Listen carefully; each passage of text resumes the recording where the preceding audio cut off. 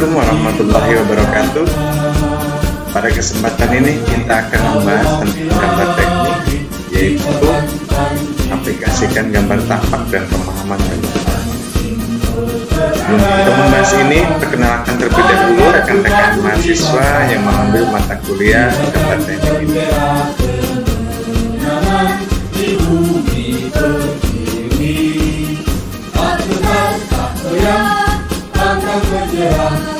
Demi masa Pada bagian kedua gambar teknik ini di ini, pada bagian pertama telah menyimak bagaimana cara-cara atau trik-trik untuk mengaplikasikan gambar tindak ke dalam gambar tampak. Kemudian saat ini mari kita praktekkan secara langsung bagaimana cara membuat gambar baik kita membuat gambar tampak depan, tampak samping, serta kita membuat gambar denah atau yang pada awalnya sudah ada terlebih dahulu gambar denah. Dan kita sama-sama praktekkan. Oke, ini adalah gambar layout denahnya ya, yang kemudian kita akan mengaplikasikan gambar tampak dan tampak samping seperti ini ini adalah gambar denahnya. Di gambar denah ini, bagaimana cara menggambarkan tampak depan dan tampak samping? Pertama-tama adalah kita perlu tahu ukuran berapa lebar tampak samping ini atau lebar coupling ini berapa dan panjangnya berapa. Kita ketahui lebarnya 6 dan panjang 15. Oke, berarti pertama-tama kita membuat garis yang lebarnya sama dengan vaksin tadi yaitu 6 meter. Oke. Kemudian selanjutnya kita rencanakan ketinggian dinding berapa meter. Kita akan ketinggian dinding dari atas dinding dari lantai ke atas padahal 3 meter maka selanjutnya kita ukur 3 meter. Ini 6 meter, ini 3 meter. Oke. Anggap garis awal ini adalah 0 elevasi 0 ya. Lihat gambar denah elevasi 0 adalah teras. Dari teras turun ke karpet 25 cm dari teras turun ke taman 15 cm oke berarti kita garis ini kita harus ukur ke bawah 25 cm untuk menentukan elevasi ini kemudian dari teras tadi tentukan 15 cm untuk menentukan taman. Oke, ini adalah garis elevasi taman dan ini garis elevasi carport. Selanjutnya, berapa antara taman dengan carport ini? Tengah-tengah, lihat garis ukuran ini adalah masing-masing 3 meter. Ya ukur dari sini ke sini 3 meter. Oke, berarti posisinya adalah sini. Ini adalah posisi taman dan ini posisi karpot. Maka kita hapus posisi garis yang melewat ke karpot. Oke, ini kita hubungkan garisnya ke sini. Kita bisa menggunakan extend sambung ya. Nah ini, ini adalah elevasi karpot, ini elevasi taman, ini elevasi teras. Di sini ada garis pembatas atau dinding pembatas antara karpot dengan taman. Ya, anggap kita dindingnya setebal 15 cm. Maka kanan 7,5 cm dan objek kiri 7,5 cm. Apakah pembatas dinding ini rata dengan taman atau lebih tinggi? Oke, kita anggap uh, elevasinya tinggi sebanyak 5 cm dari taman. Maka ini kita offset lagi ke 5 cm. Ini offset 5 cm. Oke, berarti ini pembatas antara taman dengan karpet adalah ini. Ya. Ini kita hapus. Garis ini juga kita hapus. Hapus, ini hapus. Oke, inilah sisi dinding pembatas antara taman dengan selanjutnya kita akan tentukan elevasi teras. Jelas tadi elevasi terasnya dari di sini cuman kita perlu tahu dari dinding membatasi ini ke sini berapa dan ke sini berapa. Anggap ke sini ininya panjangnya 30 cm dan panjang ke sini 2 meter. Maka dari sini kita kita ukur 40 cm 0,4 dari sini dan panjang kerasnya ke sini adalah 2 meter. Oke maka jadilah ini. Garis ini kita potong. Ya. Kemudian garis ini kita sambung ke eksen.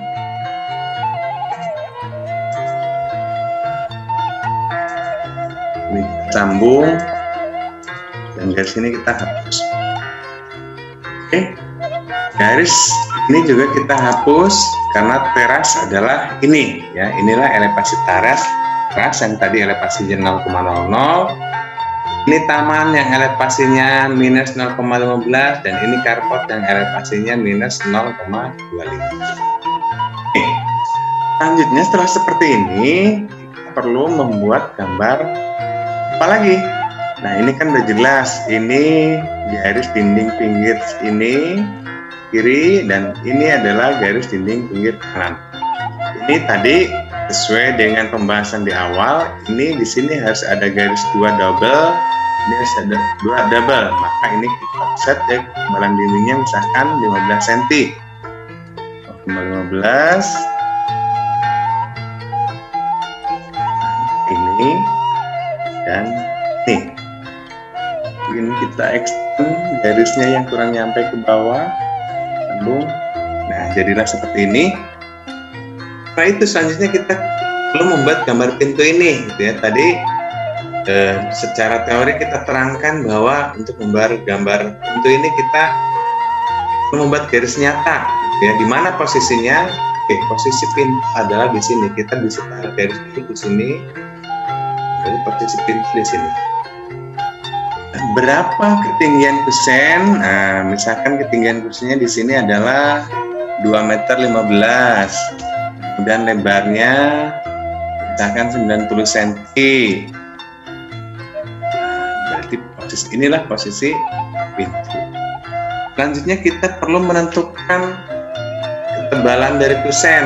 Nah, ketebalan kusennya berapa? Nanti tergantung spesifikasi bisa menggunakan yang menggunakan kayu maka standarnya umumnya 5 cm ketebalannya jika menggunakan kusen aluminium jika aluminiumnya 3 in maka 3,5 cm tapi jika aluminiumnya 4 in maka 4 cm oke maka kita akan buat spesifikasinya menggunakan kayu. Jadi ketebalannya adalah cm jadilah oke inilah posisi kusen di posisi kusen selanjutnya kita perlu membuat gambar daun pintunya dan pintunya bentuk pintunya bagaimana gitu ya. Kita membuat daun pintu yang sederhana terlebih dahulu dengan ada list 2 cm misalkan di daun pintunya.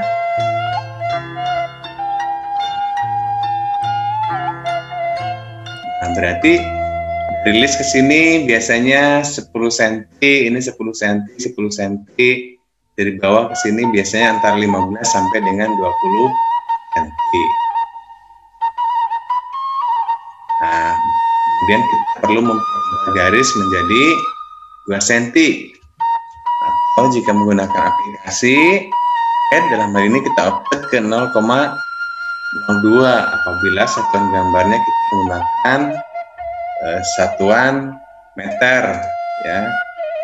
Apabila kita menggunakan satuan sentimeter maka kita ketiknya dua ya atau dua senti.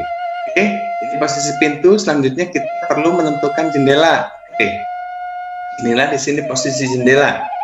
Jendelanya anggap ini daun jendelanya ini 50 cm, ini 50 cm.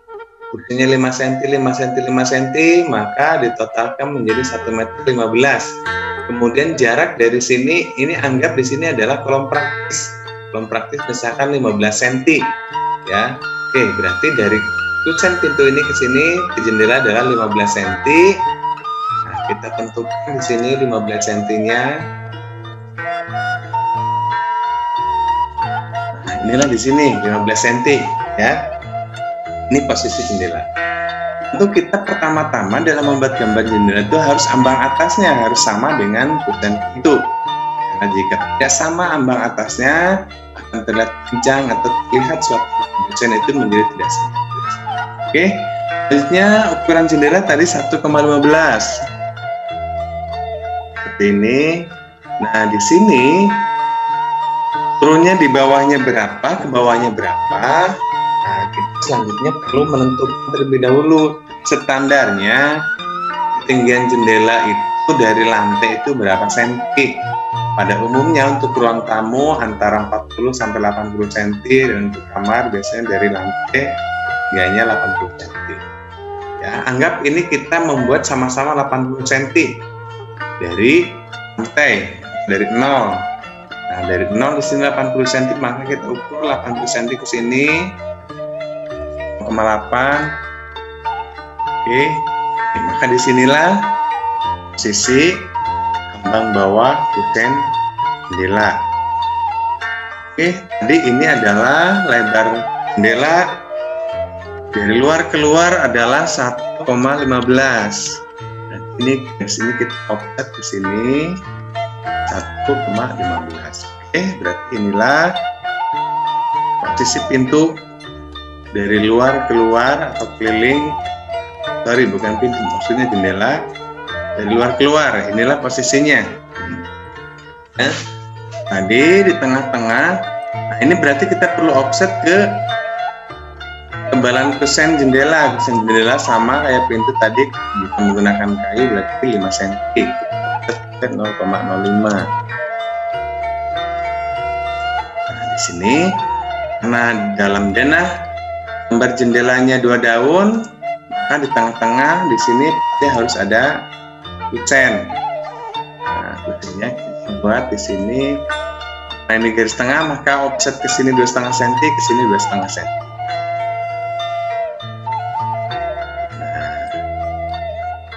Cm ke sini juga dua setengah cm kemudian selanjutnya kita membuat frame daun jendela. Frame daun jendelanya spesifikasi menggunakan kayu anggap tujuh setengah cm ya maka jendela kita offset ke tujuh setengah cm atau 0,075 jika satuan gambar menggunakan menggunakan satuan meter.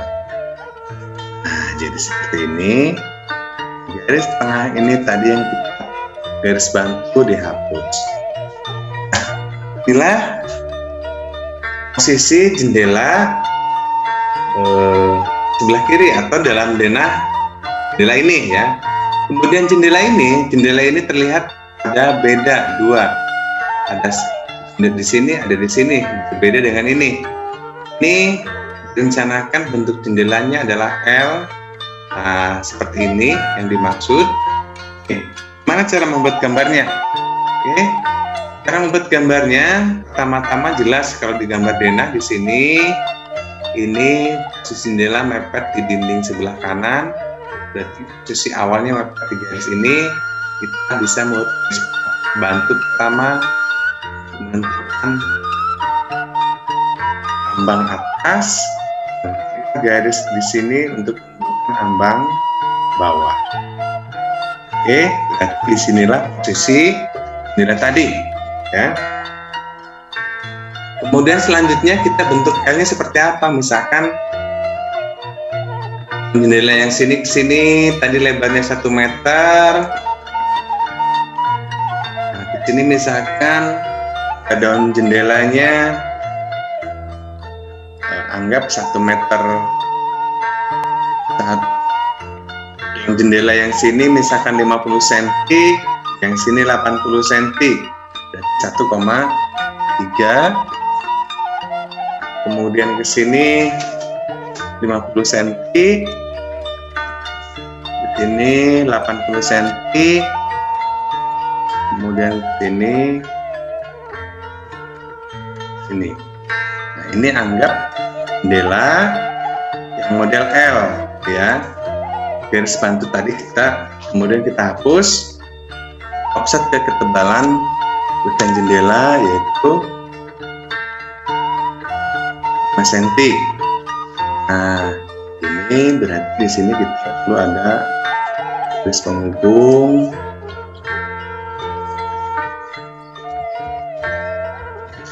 Kemudian ini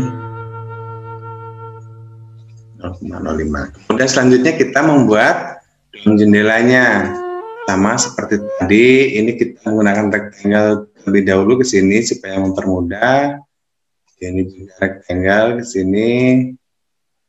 Kemudian kita offset ke tujuh setengah cm sebagai daun jendela. Seperti ini. Nah kemudian garis-garis yang kita tidak butuhkan kita hapus. Oke jadilah seperti ini tadi ya. Selanjutnya bagaimana? Selanjutnya kita membuat gambar tetap ya ini garis ini kita lihat dulu ya. Dengan konsep jenis seperti ini pada umumnya bentuk kotak bagian depan itu dibagi dua level level yang bawah dan level yang atas berarti tadi kita sudah tentukan level yang bawah adalah ini 3 meter dari teras ini dari elevasi lantai. Kemudian selanjutnya kita perlu menentukan elevasi level atap yang bagian kedua. Misalkan elevasinya berbeda 60 cm dengan elevasi atap yang bawah. Kita offset ke 0,6 nah seperti ini kemudian dinding ini kita sambungkan terlebih dahulu. Nah, ini. Oke. Berarti tadi di sini ada dinding yang 3 meter tadi tuh. Pembatas. Pembatas antara eh, kalau kita lihat gambar denah ini jika elevasi atap ini lebih tinggi dari elevasi bagian ini maka dari tampak samping ini dinding ini harus kelihatan. Di mana kelihatannya? Dari elevasi atap ini ke elevasi atap ini gitu ya. Maka yang ke bawahnya garisnya kita hapus. Yang lewat ke atas ini juga kita hapus ya. Dari dinding ini biasanya atap ke sini ada overstack oh ada atap lewat dari dinding biasanya antara 60 cm sampai 1 meter. Anggap aja ini 60 cm maka kita offset ke 0,6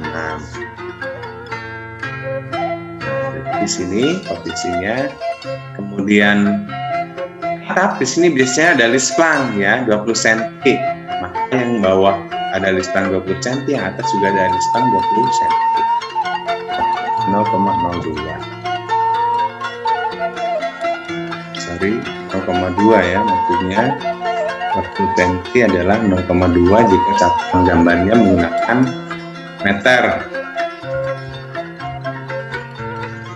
2 Nah berarti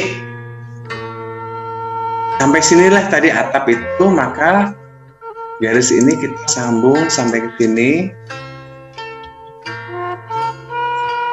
Sini kita sambung dan yang lainnya kita hapus atau kita potong menggunakan pin. Ini dipotong, ini potong, ini dihapus, ini juga dihapus oke inilah elevasi atap bawah ini list plangnya ini elevasi atap e, bagian atasnya ini list plangnya kemudian seberapa ketinggian hubungannya. Nah untuk menentukan ketinggian hubungannya kita tidak bisa menentukan langsung dari gambar tampak depan. Menentukan elevasi hubungan atap atasnya hubungannya kita harus mengaplikasikan dari gambar tampak samping. Karena ketinggiannya berapa akan tergantung dengan atau tergantung dari berapa kemiringan dari atap itu ya. Oke, maka selanjutnya kita perlu membuat langsung membuat gambar tampak samping. Oke, anggap di sini sisi tampak sampingnya ini ya, ini adalah garis bantu saja. Bagaimana kita mengaplikasikan gambar tampak samping? Oke, kita perlu lihat gambar denah. Dari kapling tanah ke sini 5 meter. 5 meter, kemudian sampai badan belakang ini adalah 3 7 meter ya 3 tambah 1,5 2,5 berarti 7 meter. Oke berarti kita membuat garis di sini. Ini 5 meter. Kemudian jadi ini ketinggiannya ke atas ini dari ini 3 meter ditambah elevasi. 5 berarti 3,25 Oke, berarti di sinilah ketinggiannya. Kemudian kita ini harus offset ke 7 meter karena badan bangunan tadi dari depan ke belakang adalah 7 meter. Nah, jadi seperti ini. Kemudian dari badan ini ke sini belakangnya berapa? Ini kita lihat ada 3 meter. Maka selanjutnya kita membuat 3 meter di sini. 3. Oke. Selanjutnya kita akan membuat gambar teras serta akan membuat gambar kapot atau pembatas dinding pembatas dinding pembatas antara karpot dengan man ya. Oke. Jadi elevasi dari karpot teras ini adalah 25 cm. Maka ukur dari sini 25. Kemudian berapa ke depannya terasnya ini kita lihat ukurnya 1 meter, maka kita ukur di sini 1 meter. Kemudian turun ke sini, ini sampai dengan dinding pembatas ini. Jadi dari dinding pembatas ini minus 15 tambah ini 5 berarti menjadi eh, minus 15 kurang ini 10 cm berarti turun 10 cm berarti taman dinding pembatas taman di sini adalah 4 meter. Oke. Nah, jadi seperti ini. Ini kita garis ini kita hubungkan Nah, setelah seperti ini, selanjutnya baru kita akan membuat gambar atapnya. Pertama-tama kita akan tentukan obstek atapnya atau emper terasnya berapa. Anggap emper terasnya 1 meter. Oke, sini 1 meter. Kemudian untuk list plangnya misalkan 20 cm. Yang sini juga dan belakang 1 meter Displangnya 1 cm sini seperti ini kemudian jangan kelewat ini ada teras belakang 90 cm elevasinya 0 elevasi 0 berarti sama dengan teras depan. Ya berarti kurang sini.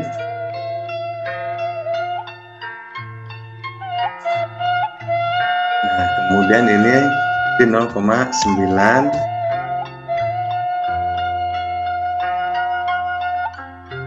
Kemudian elevasi tamannya berapa di sini? 0,2. Oke, berarti di sini turun 0,2 dan ke sini ini taman berarti 2,1. Kenapa 2,1? Karena tadi dari badan dinding belakang belakang itu 3 meter dan ini terasnya eh, 90 cm nah, oke. Ini garis ini kita turunkan ke bawah. Dan garis tengah bantu ini kita hapus. Selanjutnya kita akan menentukan atap. Atapnya cek terlebih dahulu apakah elevasinya ini itu sudah sama dengan gambar tampak depannya? Karena jika salah maka akan salah. Oke ini udah sama. Belum sama maka gambarnya salah satu salah gitu ya Oke. Kemudian, oh ini perlu full ya. Jenis teras ini perlu full seperti ini. Nah, seperti ini. Kemudian kita akan menentukan kemiringan atapnya, misalkan kemiringan atap 35 derajat. Maka manual kita harus menggunakan busur 35 derajat. Menggunakan aplikasi CAD dalam hal ini kita tentukan di sini kemiringannya 35 derajat. Oke. Kemudian kita buat garis yang kemiringan 35 derajat. Oke, akan muncul 35 derajatnya. Oke, berarti seperti ini kemiringan 35 derajat. Jika sudah membuat satu garis yang kemiringan 35 derajat, kita bisa menggunakan mirror untuk memudahkan membuat gambar. Jika gambarnya menggunakan tentunya ya. Nah, kemudian kita pindahkan ini ke tempat tepatnya, tepatnya adalah di sini. Jadi sudut pertemuan ini ini adalah untuk elevasi hubungan bawah. Kemudian yang atas tadi selisihnya adalah 60 cm, maka selanjutnya kita perlu offset ke 60 0,6. Kita yang yang eh, kedua ya, kemudian tentukan di selangnya 0,2 sorry ini salah. 0,2 nah berarti di sini 0,2 sini nah, selanjutnya. Garis ini kita perlu hubungkan dan sisanya kita perlu hapus trim atau potong ya. Nah sorry. Dipotong adalah ini. Ini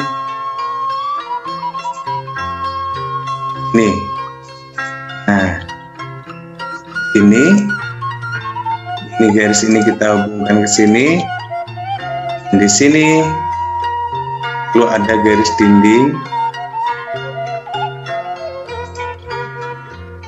Tidak bisa garisnya sini ini harus dihapus ini juga harus dihapus. Inilah dinding uh, yang harus ada gitu ya.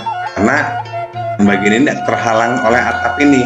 Maka tidak akan terlihat ini menunjukkan apa? Ini kalau kita lihat gambar denah ini dinding ini terlihat full. Jika dilihat dari sini ini atas karena elevasi atap bagian ini dengan bagian ini maka di sini dinding dindingnya ke atap eh, dindingnya full ke atap maka dari sini akan terlihat. Atau digambarkan maka ini adalah dinding. Area ini adalah dinding yang ada di dalam benda oke. nah, seperti ini baru selanjutnya kita tentukan bahwa atap yang paling atas adalah ini ya. Kemudian top atas atap hubungan yang bawahnya adalah ini. Oke nah selanjutnya extend ini sambungkan sampai ke dinding atap dinding atap dan yang ini juga yang kedua ini kita hubungkan ke atap yang paling atas nah maka selanjutnya semuanya kita hapus yang tidak digunakan. Oke inilah gambar tampak depan dan tampak samping ya. Ini ada yang tadi ya oke. Inilah gambar tampak depan dan tampak samping. Ini sama dengan tampak sampingnya. Tampak uh, depan ini elevasi hubungan ini dan hubungan ini harus sama. Ya tidak sama maka salah satu gambar masih salah selanjutnya baru kita membuat gambar kolom-kolom seperti ini. Ini ya ini adalah bagian dari arsitektur. Kemudian menambah variasi apa variasi apa sehingga jadilah gambar tampak seperti ini. Ini kita tinggal menambahkan arsitektur ya. Penambahan kolom kanopi beton kemudian di sini ada sirkulasi udara kemudian ada list-list dalam ada ban atau list dalam dinding dan lain sebagainya. Ini adalah bagian dari arsitektur ya. Bagaimana kita desain gambar tampak dasar awal yang harus kita gambarkan dari seperti ini yang selanjutnya kita perlu sedemikian rupa nilai arsitekturnya ya ini biasanya orang akan mempunyai imajinasi masing-masing bagaimana cantik atau satu desain rumah gitu ya berat orang berdandan di mana perlu alis di mana perlu memerah bibir lain sebagainya dan lain sebagainya. Oke. Yang selanjutnya adalah bagaimana kita dalam membuat gambar denah atap ya. Jika atap yang semacam ini maka sebaiknya sebelum membuat gambar denah atap kita buat lebih dahulu gambar tampak depan dan tampak samping. Lalu kemudian gambar denah atapnya kita e, buat yang oke contoh misalkan bagaimana setelah gambar depan dan tampak samping seperti ini bagaimana denah atapnya kita akan mengkopi terlebih dahulu dari gambar denah ini. Nah, ini selanjutnya kita akan buat gambar ubah dulu warnanya. Ya, agar tidak agar gambar atapnya jelas Oke, jadi kita telah tentukan bahwa obstek atap depannya ya atau empernya adalah satu meter, maka kita ukur satu meter. Oke, ada di sini. Kemudian yang belakang juga obstek atapnya satu meter. Di sini inilah sisi stek ya. Yang selanjutnya ini kalau kita lihat gambar tampak samping ini top hubungan berbeda dan jarak dari depan juga berbeda. Oke, inilah yang dimaksud dengan model atap seperti ini. Baiknya membuat gambar tampak depan dan tampak samping terlebih dahulu karena kita menentukan terlebih dahulu di Dena, kita belum bisa menentukan berapa panjang atau posisi hubungan hubungan ini dan hubungan ini posisinya di titik mana ya. Nah jika telah membuat gambar tampak samping seperti ini maka saja kita bisa ukur berapa panjang dari depan atap sampai ke hubungan yang ini yang paling atas. Ini adalah 4,2 di Dena kita tinggal offset dari sini ke 4,2 2 meter.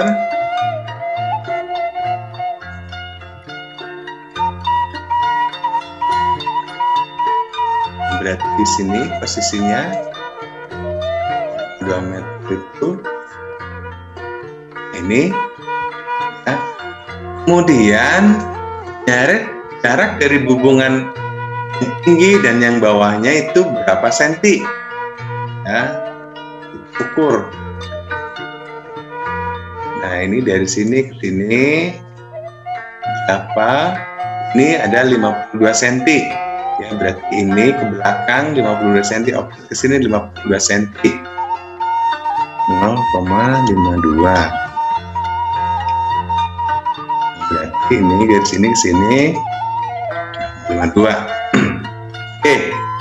Selanjutnya tadi dari dinding ini ada obstek atap 60 cm dari sini. Berarti di sini 0,6 oke. Di sini. Nah jadilah ini dan ini kita perlu sambungkan ke depan. Dari sini sampai ke atas ini nah jadilah seperti ini ya. Selanjutnya ini kita perlu potong. Ini garis ini kita potong dan garis ini kita potong. Oke. Nah ini mengartikan dari garis ini ini adalah hubungan yang tinggi ini dan garis yang belakangnya ini yang atasnya ini adalah hubungan yang atap bagian bawah. Oke, nah seperti ini selanjutnya kita tinggal melakukan kasir yang menandakan bahwa ini adalah denah. Ya, sebelumnya kita boleh mempertebal garis ini dulu sebagai uh, ini gambaran bahwa ini adalah nok hubungan ya. Oke, setelah seperti ini selanjutnya kita akan mengarsir atap, nah atap ya, layout atap ya.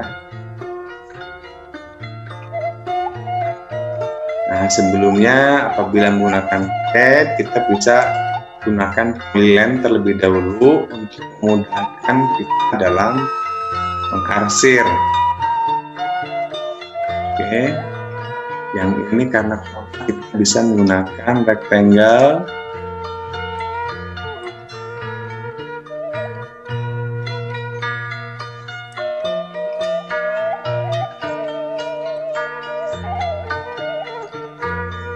Yang ini juga kita gunakan rectangle.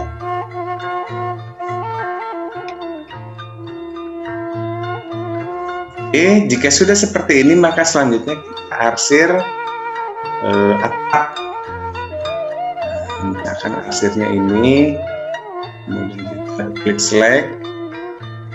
Nah ini yang diarsir, kemudian ini diarsir, dan ini juga diarsir. Oke. Nah, biasanya untuk membedakan elevasi kita bisa uh, bedakan warna ya. Misalkan ini menggunakan warna merah. Oke. Ini yang diarsir ini, ini dalam gambar tampak samping adalah atap yang garis ini. Kalau di gambar tampak depan ini adalah atap yang ini. Kemudian ini yang diarsir ini dalam gambar tampak samping adalah atap yang tinggi ini dengan tampak, tampak samping. Gambar tampak depan adalah bidang yang ini. Kemudian arsir ini Bagian belakang adalah garis ini dalam gambar tampak samping, sedangkan gambar tampak belakang ini tidak terlihat karena tertutup bagian depan. Nah, itulah cara mengaplikasikan gambar benar ke gambar tampak, tampak samping. Kita melengkapi gambar nah Kurang lebihnya mohon dimaafkan wabillahi itu hidayah walaupun peminku. Assalamualaikum warahmatullahi wabarakatuh.